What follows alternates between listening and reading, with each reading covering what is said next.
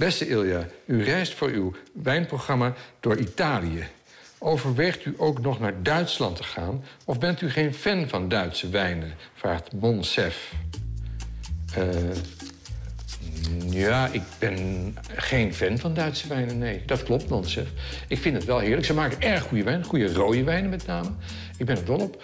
Maar ik vind dat wel een moeilijk land. En Italië ligt gewoon dichter bij mijn hart. Ik ben eigenlijk meer mediterraan dan Germaan, zou ik maar zeggen. Maar geen kwaad woord over Duitsland, hoor, Monsef.